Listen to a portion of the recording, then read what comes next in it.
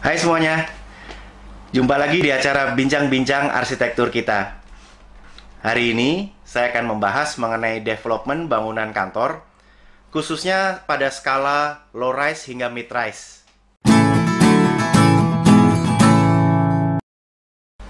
Nah, membicarakan bangunan kantor itu tentunya untuk mewadahi kegiatan yang ada di dalam perkantoran, mulai dari perusahaan besar, perusahaan kecil, berbagai badan usaha lainnya, termasuk juga yang dimiliki oleh pemerintah.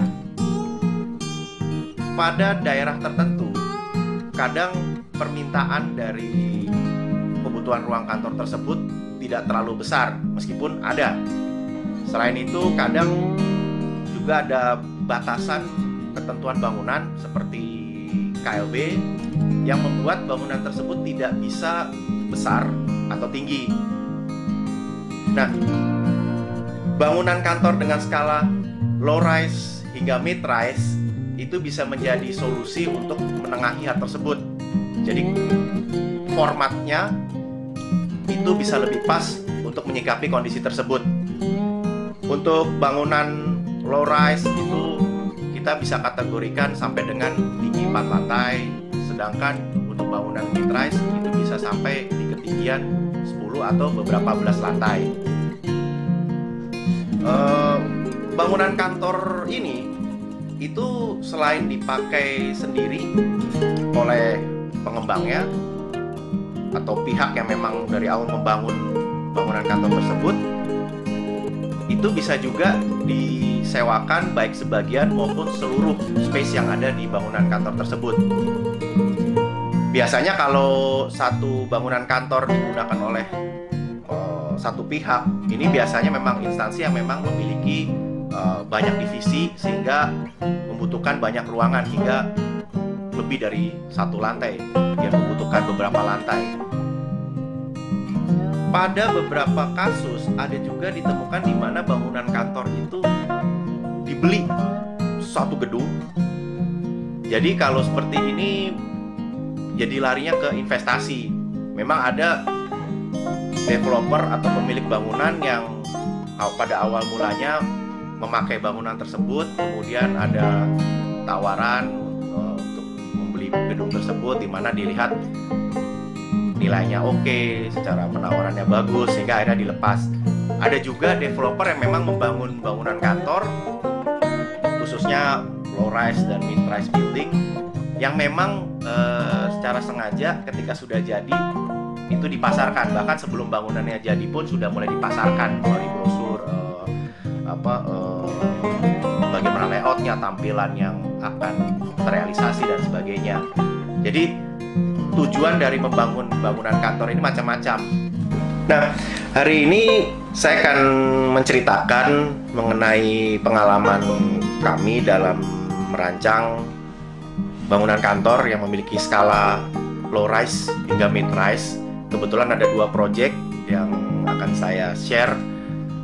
Uh, itu yang pertama berlokasi di Jalan Pramuka Raya, bangunan kantor tentunya. Kemudian yang kedua di Jalan Salemba Tengah. Jadi lokasi kedua proyek ini berdekatan.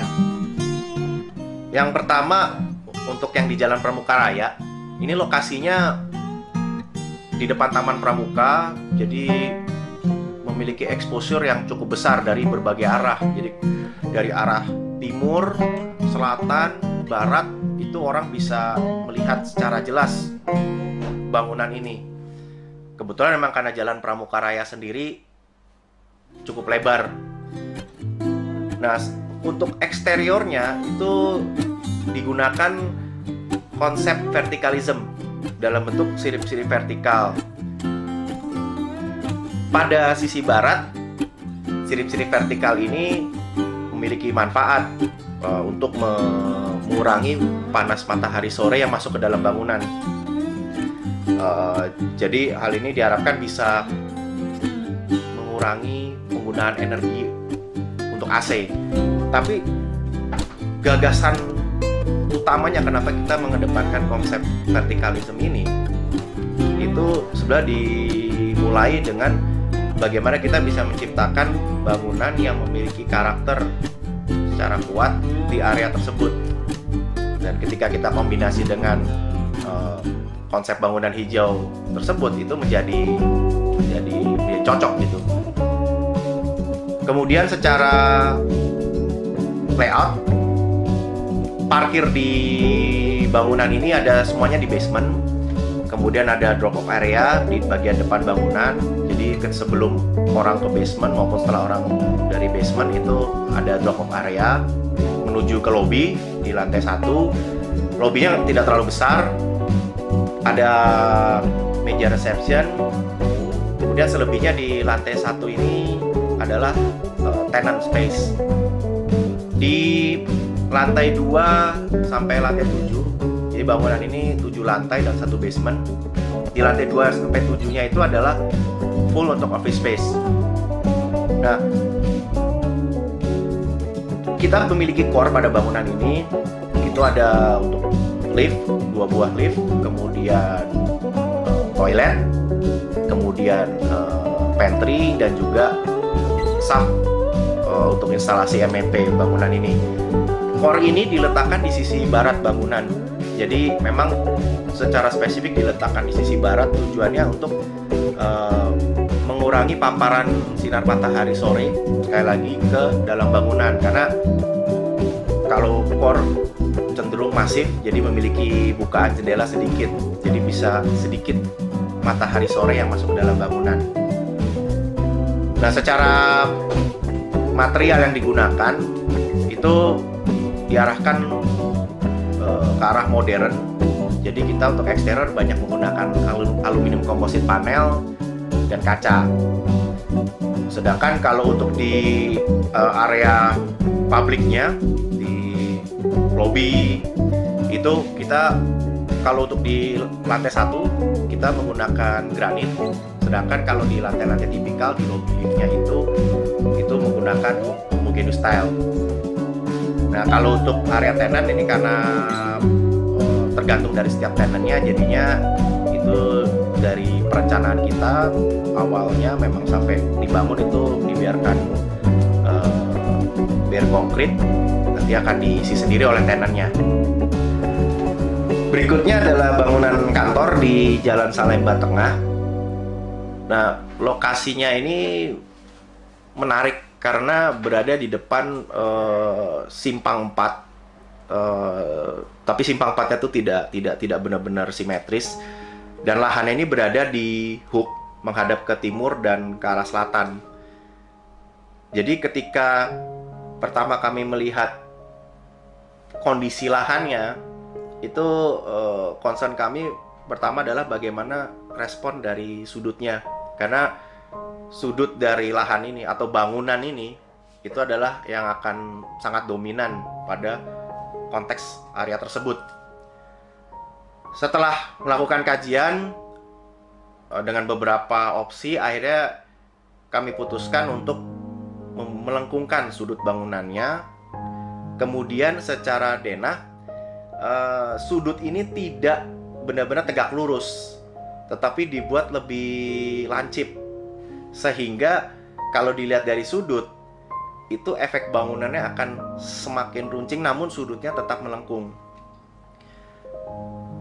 Selain itu juga pemilihan pelengkungan sudut ini itu juga untuk memberikan efek aerodinamis. Jadi dengan sudut yang lancip, lengkung, efek aerodinamis itu yang kita harapkan bisa muncul pada tampilan masa bangunannya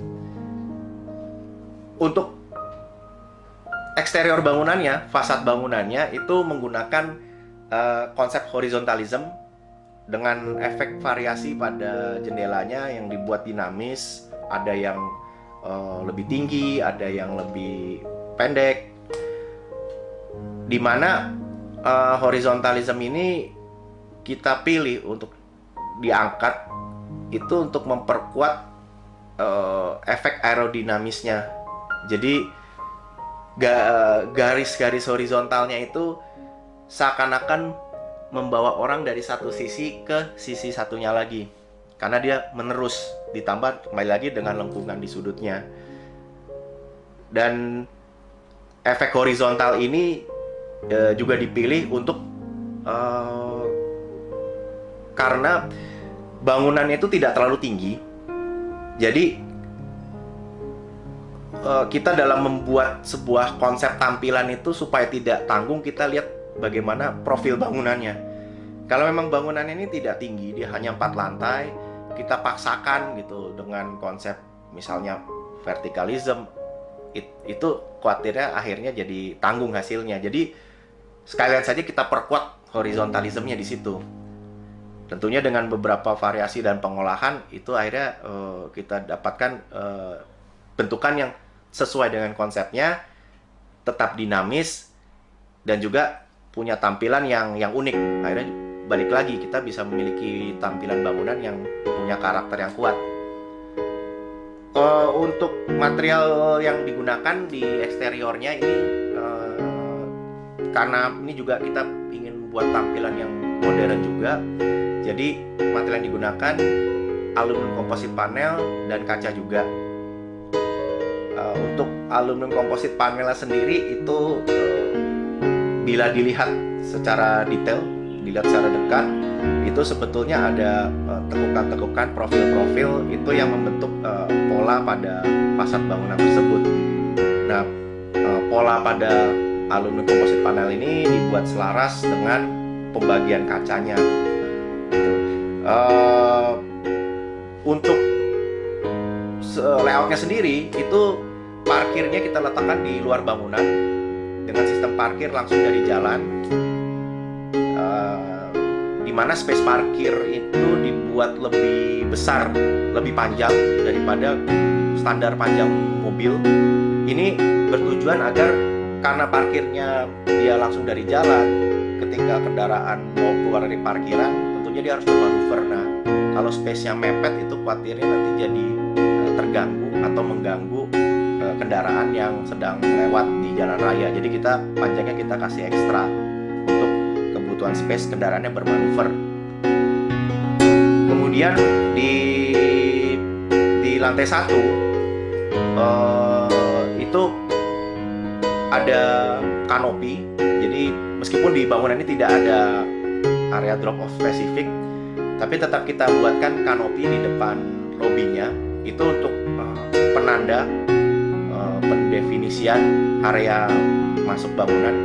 Memang ini masuknya ini juga pas di area sudut, tetapi uh, secara denah antara sudut lantai, lantai-lantai tipikalnya dengan lengkungan kanopinya itu tidak persis sama. Ini untuk membuat efek dinamis. Jadi ada uh, overlap tetapi tidak persis sama. Juga kanopinya juga lengkung. Uh, di bawahnya diberikan uh, sirip-sirip supaya tidak terkesan bulky kanopinya. Uh, di lantai satunya kita masuk ke dalam bangunannya itu ada lobby tidak terlalu besar, reception dan selebihnya office space.